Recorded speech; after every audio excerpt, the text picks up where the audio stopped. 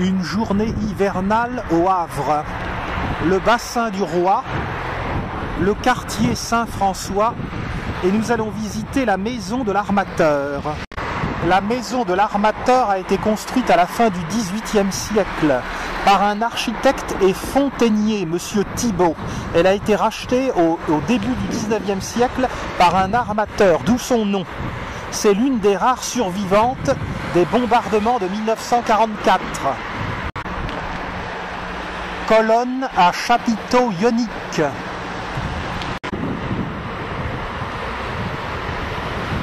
Partons visiter cette maison qui s'organise sur cinq niveaux autour d'un puits de lumière central et octogonal.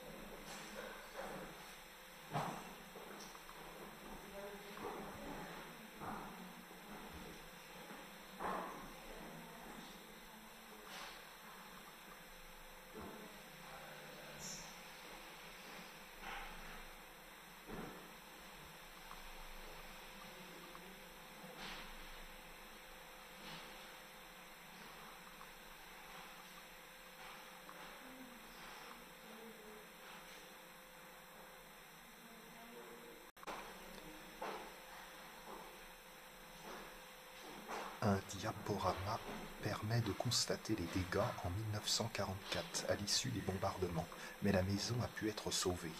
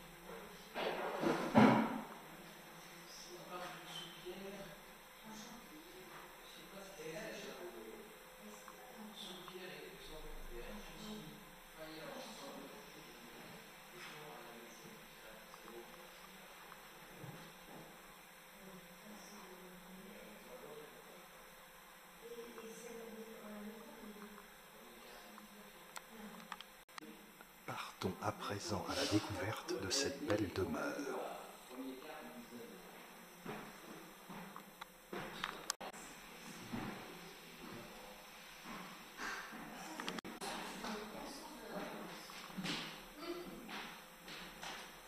Cinq niveaux superposés.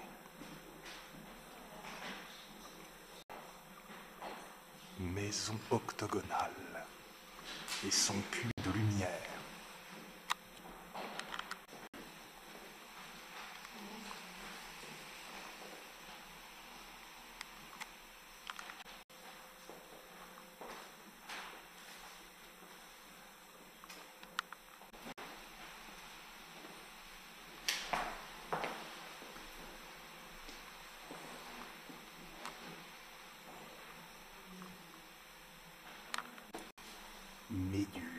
La gorgone.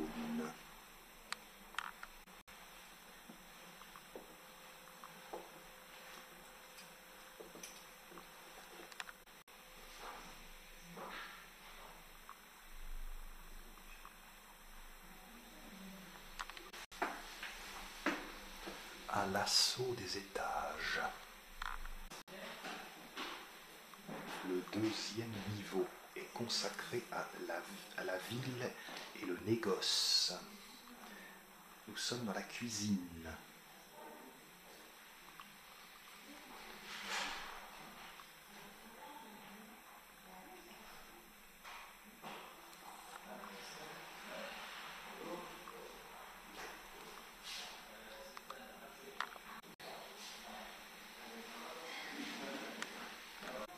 Assiette aux papillons. Faïence fine. Trois pots à pharmacie. Vase à gauche et à droite un pot à tabac.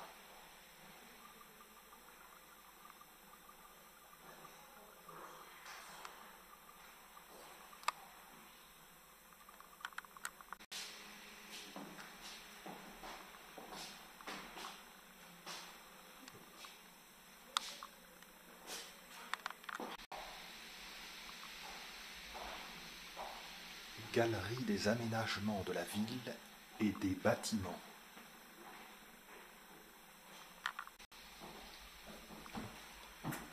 Bombardement du Havre de Grâce les 27 et 28 juillet 1694 par les Anglais et les Hollandais.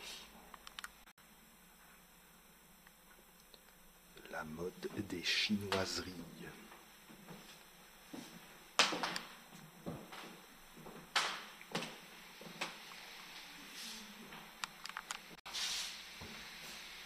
Ville du Havre 1763. Un aspect du port du Havre qui a bien disparu aujourd'hui. Le vieux bassin du Havre. Plan de la ville et de la citadelle du Havre de Grâce.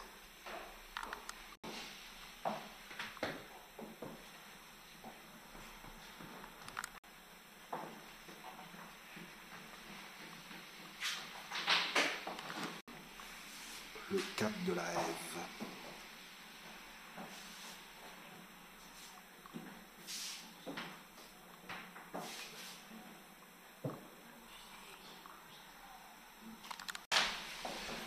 Une plaque de bronze du règne de Louis Un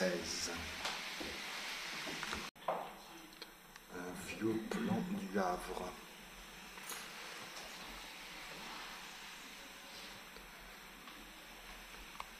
Le plan de Bellarmato avec des rues perpendiculaires. En 1787.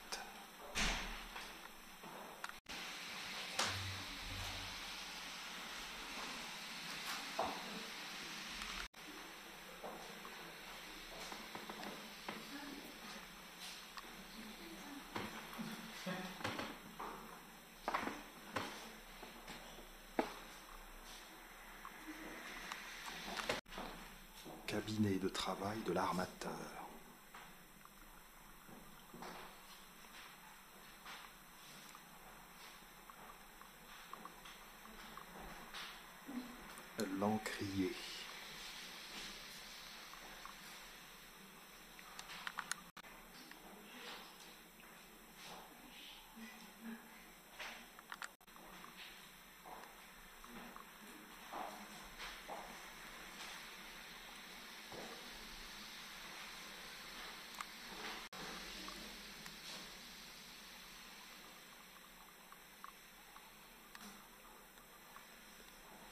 Marge du temps qui fauche nos vies.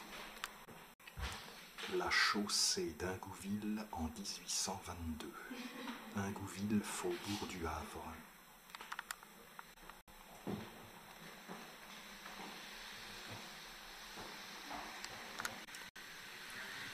Vue de la ville du Havre dédiée à messieurs les négociants.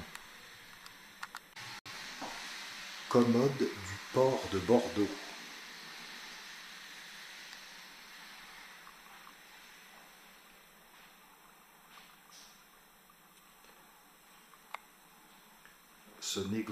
A fondé un comptoir à Cadix, en Espagne. Manufacture de tabac du Havre. Les armateurs possédaient évidemment des plans euh, des côtes lointaines, dont celui-ci situé à Saint-Domingue.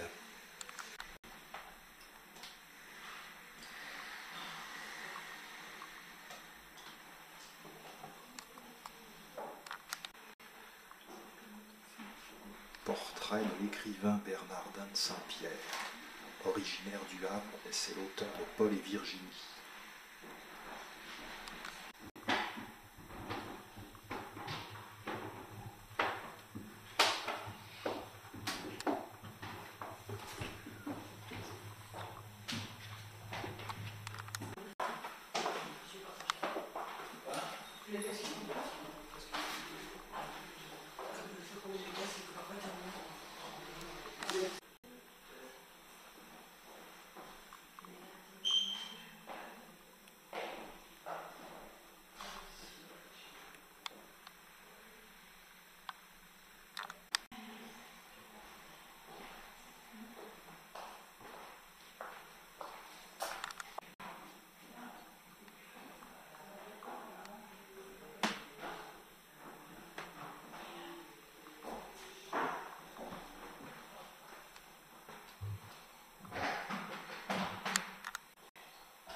Chambre de monsieur.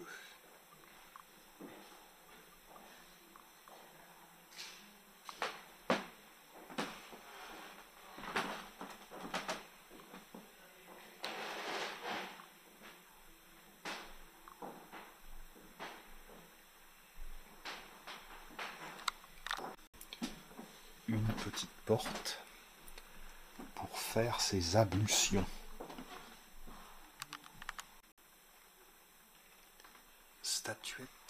Représentant l'amiral de Tourville. Un autre marin fameux, Duquesne. Colonne à chapiteau ionique. En nous penchant de la fenêtre de monsieur, on aperçoit l'architecture du puits de lumière.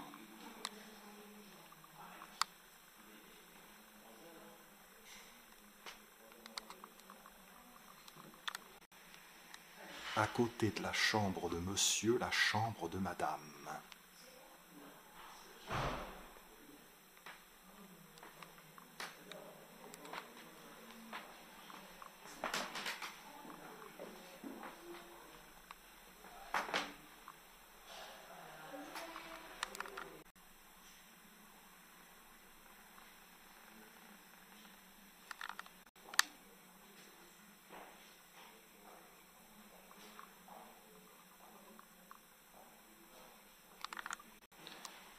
Le dossier de la chaise est en forme de lyre.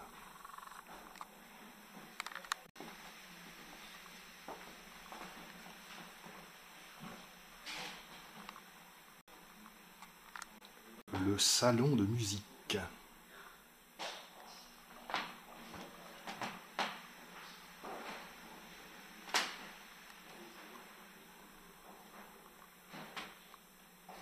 Beaucoup de moulures dans cette pièce. Le grand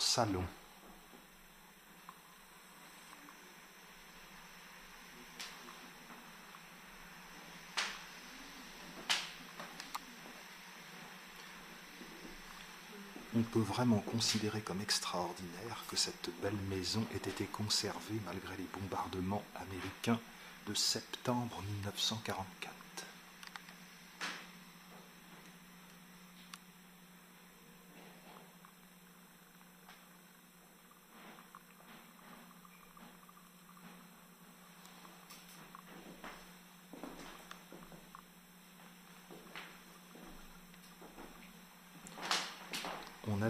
Tout particulièrement les parquets.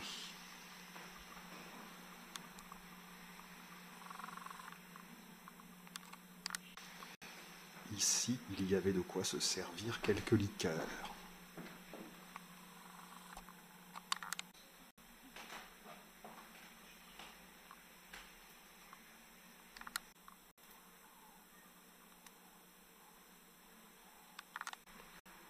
La salle à manger présente également de belles pièces.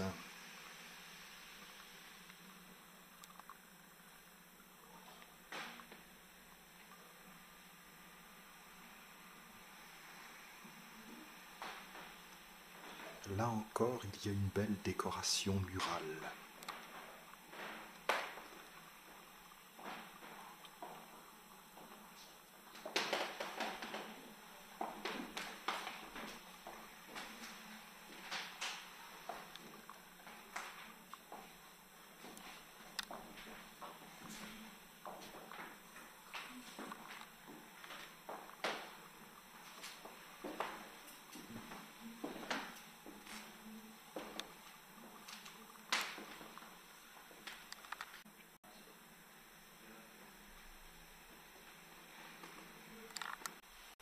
La comédie du chat.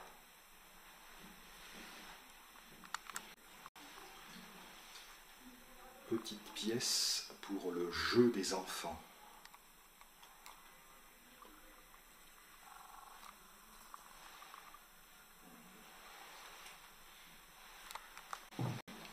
Représentation des États généraux de 1789. Prélude à la Révolution française.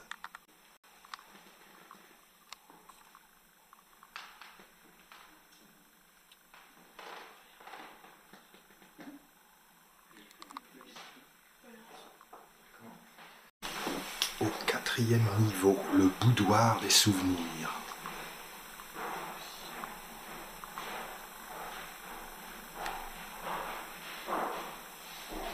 La proclamation.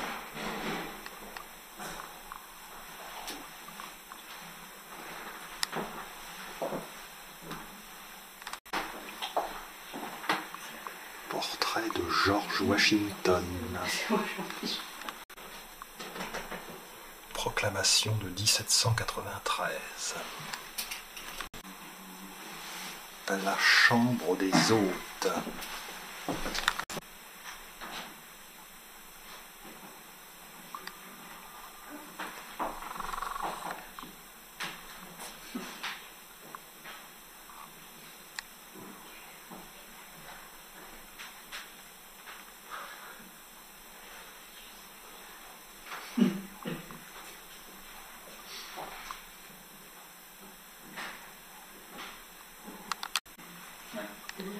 Le lit dans la chambre des hôtes.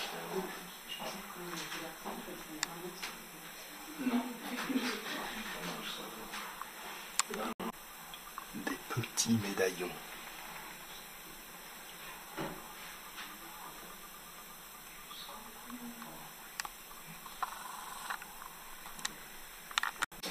La structure du puits de lumière apparaît particulièrement bien ici.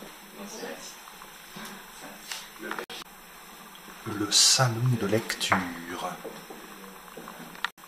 Le papier peint représente des vues de Rome.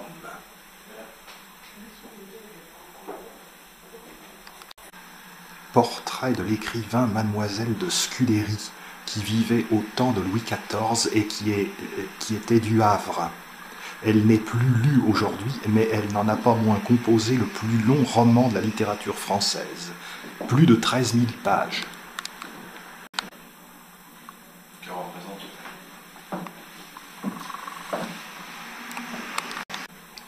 Les belles ferrures de la commode.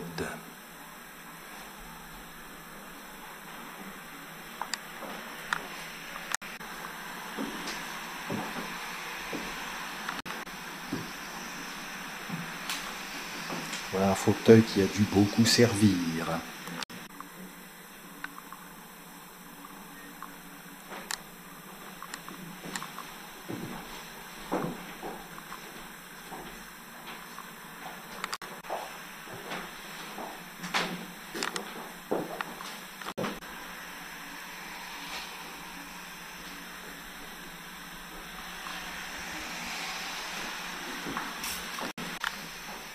belle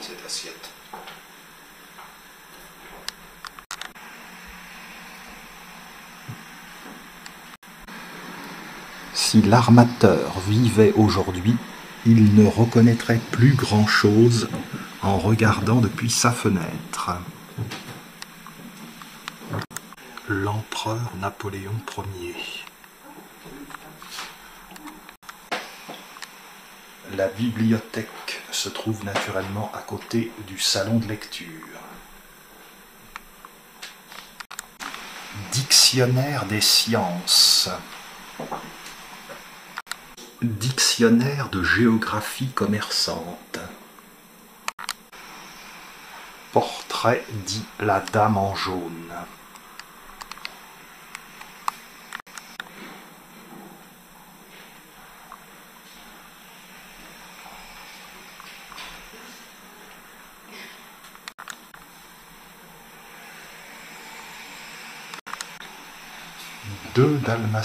Pour tenir des livres.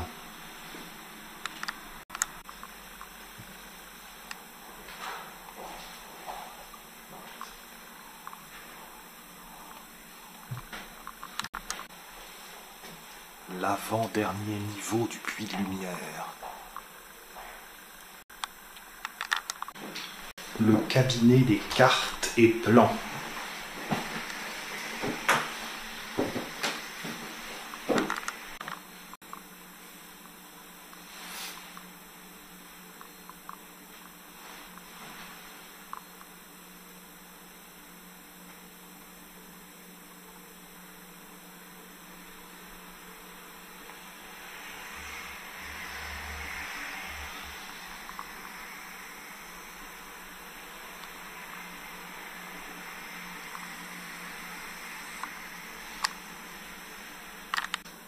Vue du Havre autrefois, les escaliers, la chapelle d'Ingouville,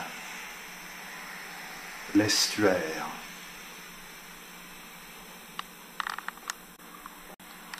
Un superbe baromètre ancien.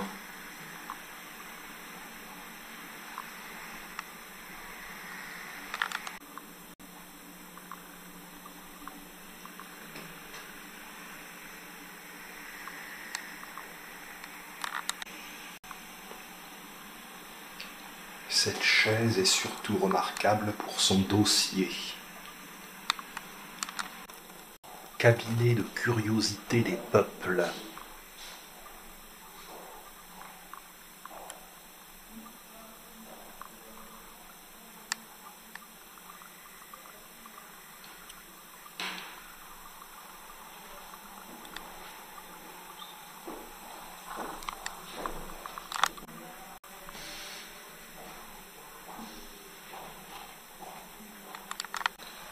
Une vue ancienne du port du Havre.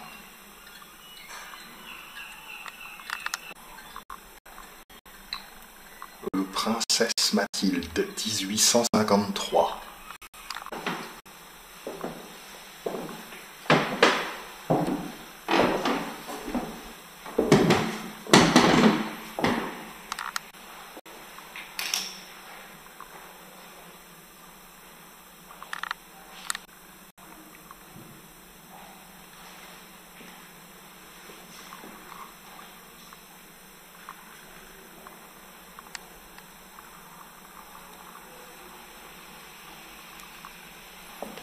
Un beau. J'aimerais, ouais.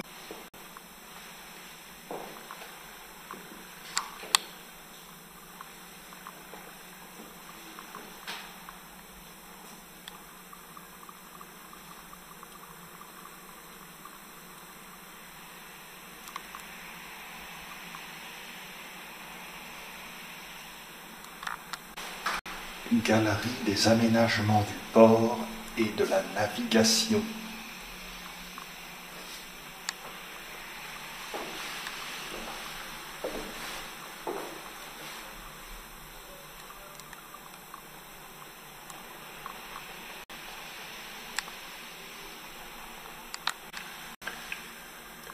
cette vue du port du Havre ne ressemble pas à grand-chose. Les débuts de la marine à vapeur. Pas mal de houle, dirait-on, pour rentrer dans le port du Havre.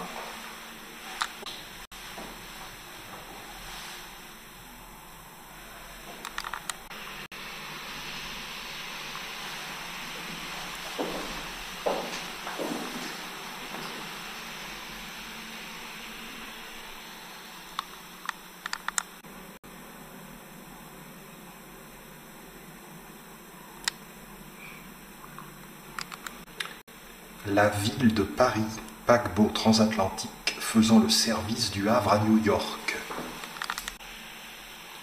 Et voici la ville du Havre qui faisait le même trajet. Les navires de la Compagnie générale transatlantique dans le bassin de l'Eure au Havre.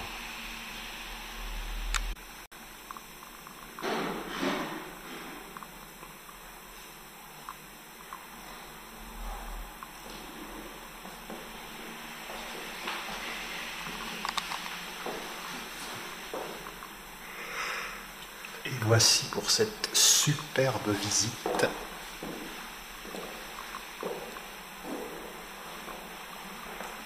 de la maison de l'armateur au Havre.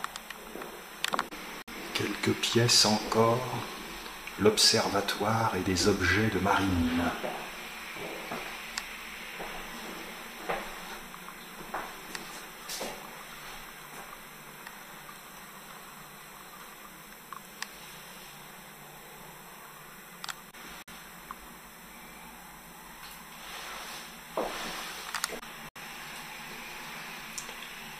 Les phares de Sainte-Adresse. Une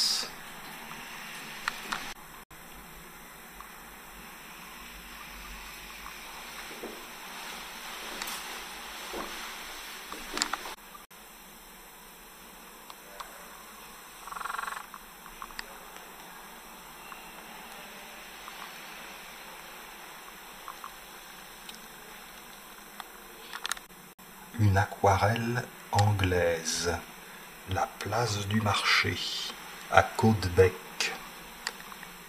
Côte-Bec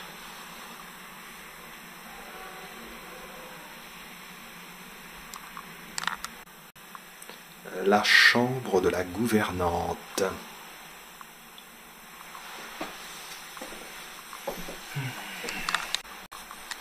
Cauchoise. L'ameublement de la gouvernante était nettement moins luxueux. Un lit pour bébé à rallonge.